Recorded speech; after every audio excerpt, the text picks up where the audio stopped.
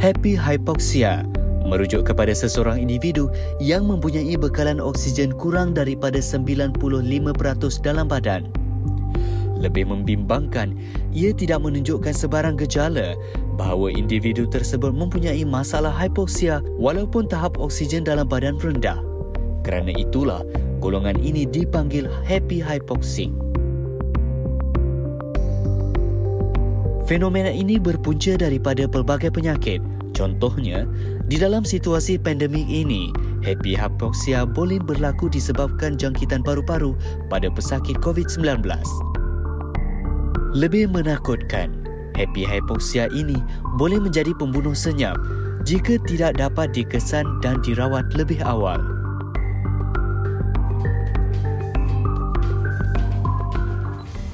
Okey, uh, jangan terkeliru ya sebab nama memang happy uh, hmm. tapi ini satu boleh katakan ayat yang boleh kita quote tadi adalah pembunuh senyap. Hmm. Uh, itu yang menakutkan tu.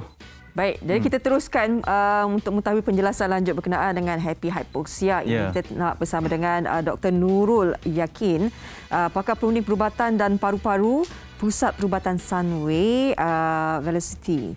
Jadi berada di uh, talian secara maya. Ya, Assalamualaikum, Doktor. Assalamualaikum, selamat pagi, Doktor. Selamat pagi. Waalaikumsalam warahmatullahi ya. Sehat ya? Alhamdulillah sihat. Okey doktor, bacaan saya 99 ni. Okey eh? Alhamdulillah. Congratulations. Oh, takut. Okey, bila doktor cakap saya tak takut dah.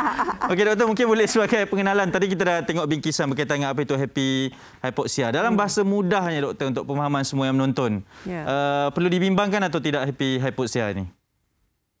Jadi sebenarnya hypoxia ni adalah satu fenomena yang sebenarnya sangat merisaukan ya kalau kita lihat berapa banyak kes-kes yang dibawa uh, masuk hospital brought in death ya hmm. dan banyak kes-kes yang dijumpai mati di rumah ya, tanpa disedari ya kerana masalah pada hypoxia ni ialah pesakit tidak merasa susah nafas ya jadi apabila mereka tidak merasa susah nafas, mereka merasa mereka okey. Jadi mereka tidak perlu meminta sebarang pertolongan atau bantuan ya. Jadi hmm. mereka kebanyakannya berlaku di kalangan pesakit yang dikuarantin di rumah. Hmm. ya.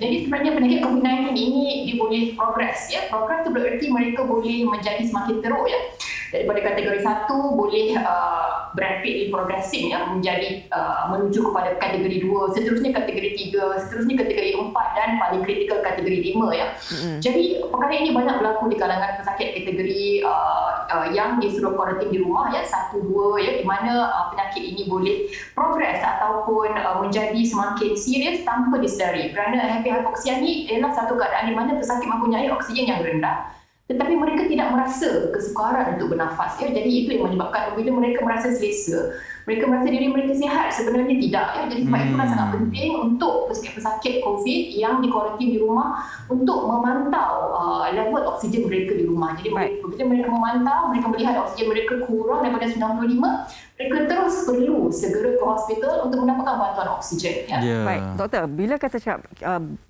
pada mereka yang ada peralatan ini mungkin uh, adalah satu bonus kepada mereka tapi kepada mereka yang tidak mempunyai tak ada ke hypoxia ni ada simptom-simptom yang hmm. macam kita boleh eh merasa walaupun kita ada tak simptom yang mungkin uh, jelas lah yang Betul? jelas ha.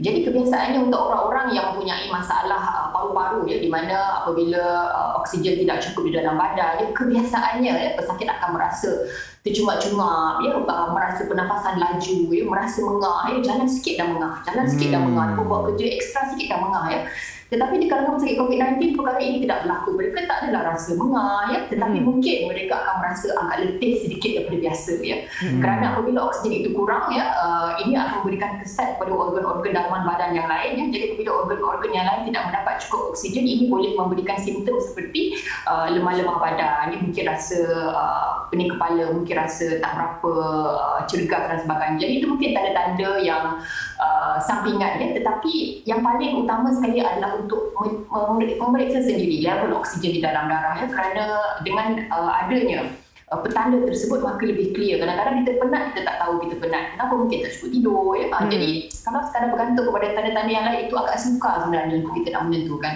adakah kita ini mempunyai hyperhypoxia ataupun tidak. Hmm. Ya, yeah. okey doktor. Tadi kalau kita tak ada alat uh, pulse oximeter ni, okey sekiranya kita ada, macam tadi kita buat kan. Hmm. Okey contoh uh, bacaannya kurang daripada 95 kan, baru kita perlu rasa risau. Okey. Yeah. Tahap mana yang perlu kita risau, perlu kita laporkan? Tahap mana yang perlu kita macam tenang-tenang dulu kita ambil bacaan balik dia dia macam mana doktor prosesnya tu ya yeah. Saya nasihatkan ialah apabila melihat uh, bacaan itu kurang daripada 95%, maksudnya nampaknya dia 94% terus pergi ke hospital. Sebab COVID ni dia boleh uh, bertukar menjadi serius dalam skrip mata. Ya. Banyak kes-kes yang saya lihat, mereka datang dalam keadaan uh, okey, ya, stable. Hmm. Ya. Tetapi dalam masa beberapa jam kemudian, tiba-tiba uh, oh, dia boleh drop macam tu je? Memerlukan oksigen. Jadi dia sangat cepat. Dia keadaan ini dia deteriorate atau menjadi serius dalam keadaan yang sangat cepat. Jadi kita tak boleh mengambil lengah, ya, tak boleh uh, mengambil mudah perkara ini. Nampak kurang daripada 95 sampai 4 dia terus ke hospital. Kerana dalam masa beberapa minit ataupun jam selepas itu, pesakit boleh terus uh, merosot dia punya keadaan kesihatan dia dah boleh membawa maut. Ya. Yeah. Jadi perkara ini memang perlu dipandang serius. Ya. Yeah. Hmm. Okay. Baik, kalau kalau macam tu kan, ada juga kes, beberapa kes uh, yang positif doktor. Saya nak tanya lah.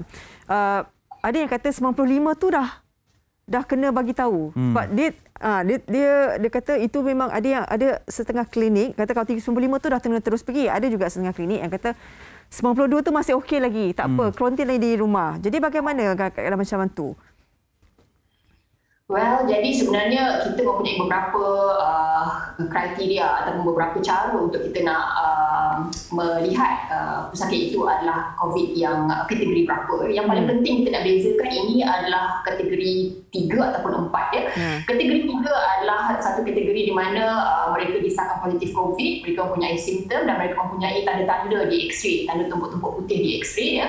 Dan kategori empat adalah di mana uh, pesakit ini mula memerlukan oksigen. Hmm. Jadi sebenarnya uh, pulse oximeter ini dia membantu untuk kita membezakan kategori 3 dan 4 ya kerana kalau kita oh. lihat guideline ataupun cara uh, cara-cara untuk merawat sakit COVID COVID-19 ini hmm. uh, rawatan yang intensif, rawatan yang uh, banyak ubat-ubatan yang kita perlu berikan dengan oksigen adalah bermula antara kategori 3 dan 4 ya.